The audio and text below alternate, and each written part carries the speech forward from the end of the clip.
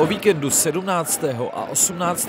února se v hale na Střelnici ve Svitavách konal závěrečný turnaj Českého poháru v basketbalu Hyundai Final Four. Soutěž pořádaná Českou basketbalovou federací byla založena v roce 1993 a zastává funkci národního poháru. Ve Svitavách se finále konalo již v roce 2003. Letošní Final Four přivedlo do světa v celky Děčína, Pardubic, favorizovaný Nymburk a díky pořadatelství se ve finálové čtyřce objevili také domácí tuři, kteří jinak hrají nejvyšší českou soutěž kooperativa NBL.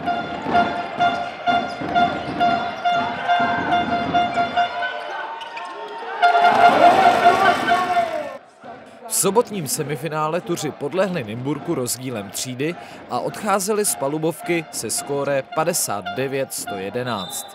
Ze druhé dvojce vyšli vítězně Pardubice a postoupili tedy do finále, přičemž na Svitavy zbyl v boji o třetí místo Děčín.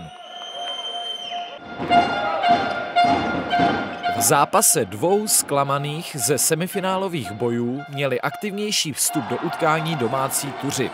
Základní pětka dobře kombinovala hru do podkošového prostoru se střelbou ze střední a dlouhé vzdálenosti. Zejména díky ofenzivně agilnímu dů Slezák Rousboro se dařilo držet dvouciferné vedení.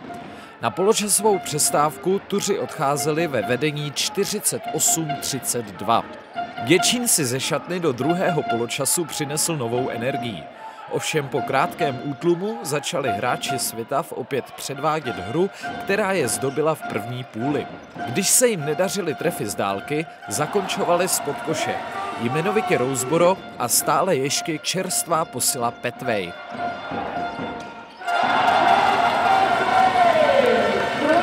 Děčín se v závěru sice přiblížil až na rozdíl 11 bodů, ale trojka Petveje mu reálnou naději na zvrat opět vzala. V úplném konci utkání se tak dostali ke slovu i mladíci Kovář s Kotáskem.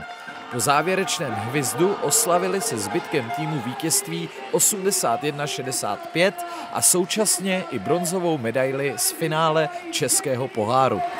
Českého poháru! končí čtvrtý.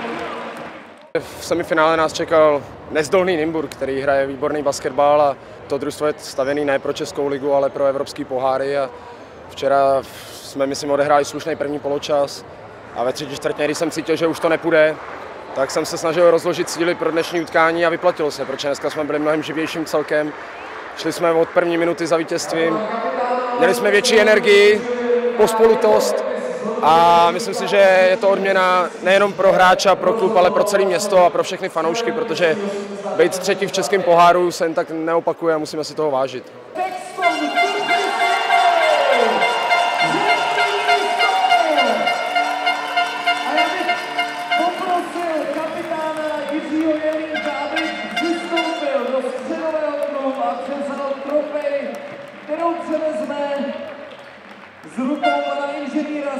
Břízy, prvního místo předsedy České basketbalové federace a také gratulace převezme i od starosty města Svitavy pana magistra Davida Šimka.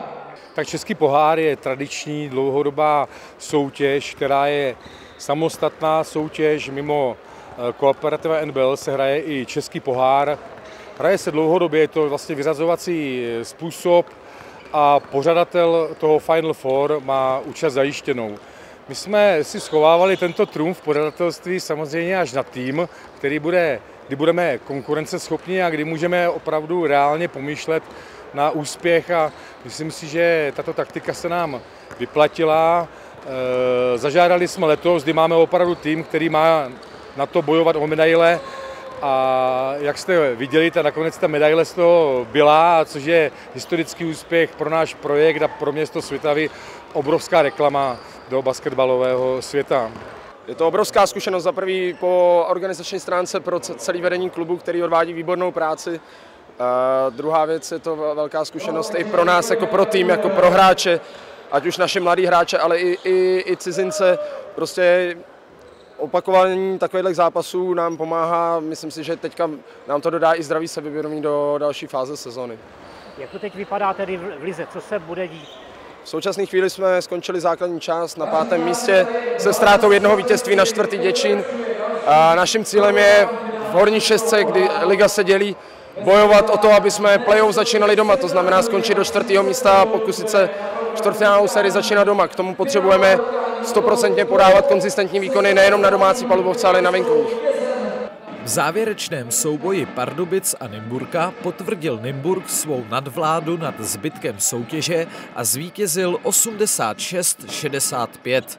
Celkově je to pro něj už 12. vítězství v českém poháru. Nejužitečnějším hráčem celého turnaje byl zvolen Martin Kříž, taktéž z vítězného Čes Basketball Nymburk.